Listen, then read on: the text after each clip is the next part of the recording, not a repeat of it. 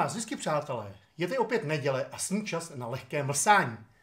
A protože máme rádi své lepá těla, nebudeme do sebe rvát nějakou odpornou opečenou věc, plnou sacharidů, laktózy a chemických emulgátorů, ale dáme si chutnou a mysl rozařující tekutou pochoutku z dílny skotských mistrů palírníků. A jakož se máme rádi a skutečným dobrotám se nevyhýbáme, dáme si dneska něco skutečně mlaskózního. A to bruchládek 30 let, která byla destilovaná v minulém tisíciletí. Dokonce ještě přes změnu režimu ve východní Evropě, a to v roce 1988. Schválně. Kolik z vás, kteří se teď díváte, v té době už bylo na světě?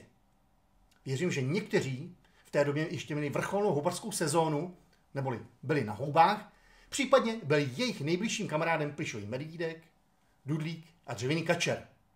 No a v té době, kdy palírna ještě patřila společnosti Invergordon, tady je třeba si připomenout, že od té doby už změnila třikrát majitele, se sešlo pár chytrých hlav, no, by tam byli už od roku 1881, kdy palína byla založena, a na zařízení, které je prakticky v nezměněné podobě od založení, proto ji také miluju, tuhletu palínu, protože s lehkou nadsázkou jí říkám, že to je skutečně jediné, skutečné funkční whisky muzeum ve Skotsku. Vyrobili destilát, ano, přesně v roce 1988, který naplní do připravených sudů. O těch si za chvilku ještě něco řekneme, kde pak v klidu, v tému klasických danič eh, skladů, dalších 30 let odpočíval tenhle destilát. A dneska, dnes se mu podíváme na zoubek, milé děti. A jako něco k dnešnímu mazlíčkoji, něžné a rostomilé 30-leté kočičce z paliny Bruchláry, která si na Whisky Base získá velmi příjemných 90,28 bodů. Jak už jsem řekl, vypána byla v roce 1988, kdy palína patřila společnosti Imen Gordon.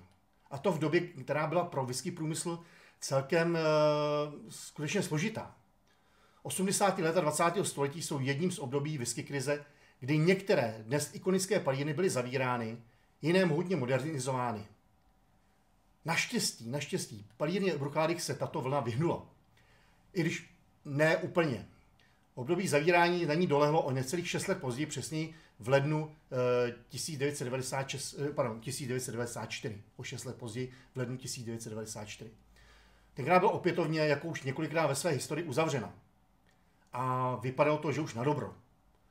Personál až na dva zaměstnance, kteří měli dbát o zrající whisky, byla propuštěna. Nebo byl propuštěn personál samozřejmě. A samotná whisky byla určena k tomu, aby skončila v nasmouvaných blendech. Takže konec další legendy. Naštěstí se koncem 90. let 20. století sešlo několik investorů, které dal dohromady Mark Rainier a 19. prosince 2000 Palínu za z dnešního pohledu směšných 6,5 milionů liber koupili. Musíme si uvědomit, že součástí koupě byla nejenom palírna, ale i 20 sudů, 20 tisíc sudů ze zrající whisky. Ale zpět, zpátky k dnešní, k dnešní whisky.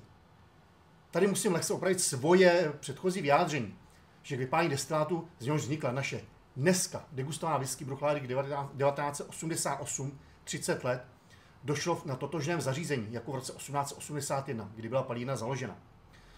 Není to úplně přesný, protože v roce 1971 totiž došlo k výměně přepalovacího kotle za nový, i když samozřejmě stejného tvaru, jako byl ten původní. A v roce 1975 přibyla ještě nová dvojice surovinového a přepalovacího kotle, která pomohla navýšit tehdejší produkci na 1,5 milionu litrů alkoholu nebo čistého alkoholu ročně. Dneska to je cirka, dneska ta produkce je trošku nižší, je to dneska cirka se produkuje okolo 800 až 900 tisíc litrů ročně. Nicméně, a to je skutečný unikát, první surovinový kotel je stále původní z roku 1881. To znamená, do dneška se pálí na kotli, který byl instalován v roce 1881 v téhle palírně, což je skutečně unikát. No a tenhle ten eh, první vzorek, který byl eh, na tomto eh, zařízení vypálen, tak byl následně nalit do sudů a uložen ke zrání do klasických daných skladů. To jsou takový ty klasický kamenný sklady, tři patra nad sebou máte ty sudy, mezi nimi takový ty dřevěné kolejničky, klasický daný styl. No a zatímco si budeme povídat o sudech, můžete se podívat na krátké video o výrobě sudů v palíně Bruchláry. A jak už jsem říkal, e, čerstvě vypálený destilát byl následně uložen do sudů a to dvou typů. Jednak se jednalo o sudy po bourbonu, druhé plnění, velikost barel, a jednak o squat hogsheady. Po bourbonu samozřejmě. A jako baborať. Co to je bourbon barel? Asi ví každý. Sud po bourbonu o velikosti cirka 200 litrů, pro ty, kdo by nevěděli. Ale co je to squat hogshead? Pro většinu z vás to je zřejmě první setkání s tímhle názvem. Každý zná výrazy jako bat, barel, panční, pipe, quarter cask a podobně. Ale pravděpodobně jste nikdy neslyšeli výraz squat hogshead. O co se vlastně jedná? Tady se nejdříve vraťme k sudu o velikosti hogshead. Jedná se o sud, který vzniká přestavbou sudu e, o velikosti barel. Je zjednodušeně řečeno, vezmete pět barelů, rozeberete je a z daných žeber a z nových deklů uděláte čtyři hogsheady. To je sudy o velikosti cirka 250 litrů. Nicméně ne všechny sudy po bourbonu o velikosti barel mají objem cirka 200 litrů. Děje se, nebo spíše dříve se dělaly i sudy na bourbon, které sice měly stejný průměr toho deklu nahoře, ale o trochu nižší výšku. A tyhle sudy, které Palína Bruchlárek odebíral v 70. letech 20. století, měly objem nikoli v cirka 200 litrů, ale pouhých 150 litrů, cirka 150 litrů. Takže po přestavbě na hohzet se získal objem 210 litrů. Ale s velmi výrazným kontaktem se dřevem. A právě kombinací těchto dvou sudů, z nich whisky Bruchlárek zrál po celých e, 30 let, to je nebyla nijak přestudována či nijak dokončována, vznikl výsledný destilát, který je na dnešní, naší dnešní laskomínkou. Jinak Bruchlárich 1988, 30 let, je whisky, která je samozřejmě, jak je u všech whisky z téhleté palíny, z palíny Bruchlárich, eh, typické, nefiltrována, zastudená a ani není nějak dobarvována. No a lahována byla přímo v palírně na ostrově Ayla a naředila místní vodou na 46,2% alkoholu. Samozřejmě na ostrově Ayla i zrál, to je typické pro whisky Bruchlárich, veškerá produkce palírny Brucháry zraje na ostrově Ayla. Což není až tak typické. A to už jsme si možná říkali, anebo jste to někde slyšeli. E, jinak se jedná v tomto případě o limitovanou edici o celkové množství 6000 slaví, z kterých, pravda, se musím přiznat, jsem strestal já s pomocí kamarádů už celé tři lahve, takže i kdyby nikdo nic už nevypil, tak už nemáte 6000, ale máte pouze 5997 lahví. A tohle je vlastně až dneska dopijeme 5996 lahví. Ale věřte, víc lidí to vypilo. No a je dost teoretizování a pojďme na degustaci.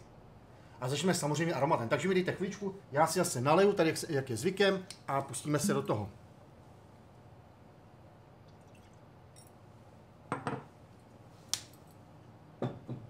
Takže začne aromatem, tam asi jsem na to zvědavý, se na to opravdu těším, protože tady ta, já už teď, když to cítím, už to už to tady takhle ke mně lehonce z té dálky, co tady mám tady dole, už to, tak, eh, už to eh, k tomu eh, dosahuje. Jo.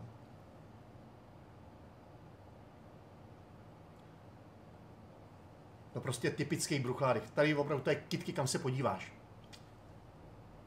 Já se přiznám, jako když tam tomu čichnu, tak je tam podle mého trošku bezu, trošku fialky, je tam samozřejmě i ovoce. E, tam je krásně ovoce. Teď sice víc takový uh, exotický, pro mě, podle mě jsou tam citrusy. Citrusy, prostě pomeranče, grapefruity, citrony, pomelo podle mýho a když tam jako, jako to ještě nebo čichnu, mango, ananas je tam krásný. A potom jsou trošku je tam zavonějí jabka a zavonějí mi tam broskvičky. A k tomu mám takový ten letní pocit. Eh, já se přiznám, eh, takový to, když kráčíte v létě podél louky, kde se suší seno. Ale to moře je tam krásně cítit. Takový závan, lehký závan slaného vzduchu. O. Já tam mám trošku jako tam malinko takového pikantnost jako je to medu, dub je tam, krásně je ten pikantní dub, taková ta lehká pikantnosti. No a samozřejmě vanilka, ta je tak typická, že jsem na ní, eh, jsem na ní tam úplně doslova zapomněl, ale když to vezmu, když to skrnu prostě krásně rozkvedlá louka na okraji moře, kde si doprávám prostě, dopřávám dobrotu z ovoce, takový salátek ovocný. Překrásný. lehký, delikátní. Je, já už se těším, až to ochutám. Takže nebudeme zdržovat, jdeme si cucnout.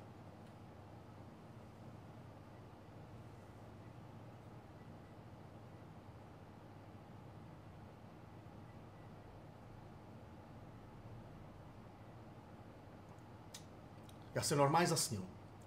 Já se úplně zasnil, opět stojím na břehu moře, teď opravdu, tam stojí taková ta lehký slaný vánek, občas ta kapka to, eh, té eh, slané vody na mě, eh, na mě zautočí, lehce samozřejmě zautočí, jo.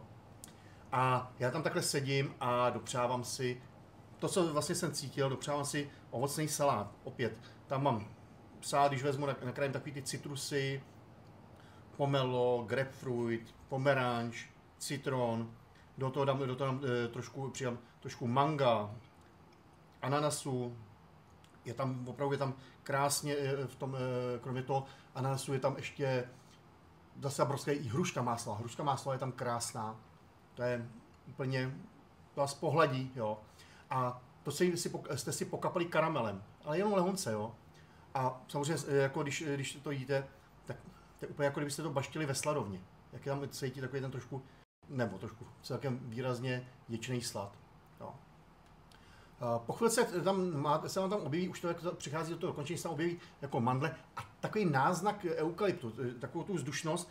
Já, mě to připomíná, vlastně když jsem šel portugalskou cestu Santiago de Compostela, tak přesně jsem těl, šel, tam máte kvanta těch eh, eukalyptových hájů, dokonce se spal na jednom zámečku, který byl obklopený rostlými eukalyptama a to přesně tam v té chuti cítíte. Jo. Je to opravdu velmi, velmi lahodný. No a to dokončení opravdu, jak jsem říkal, tam přichází ty mandle, už vzniká to takový to opravdu typicky mořský, slaný, prostě, kdybych to při, eh, a dřevitý, kdybych to při, eh, nebo ale pozitivně dřevitý, kdybych to přirovnal, zase když se zasním, tak eh, jako kdybych seděl na břehu moře, na té pláži, v tom písku, baště jsem takový ten ovocný, ovocný salát, nebo respektive tady si spíš už dám taky to pomeličko, to, a vedle mě byla zaparkovaná stará dřevěná rybářská bárka, prostě neskutečně nostalgický. Prostě ta kombinace těch citrusů s tím dřevem je tam nádherná, jo. Takže já si ještě jednou a budeme pokračovat dál.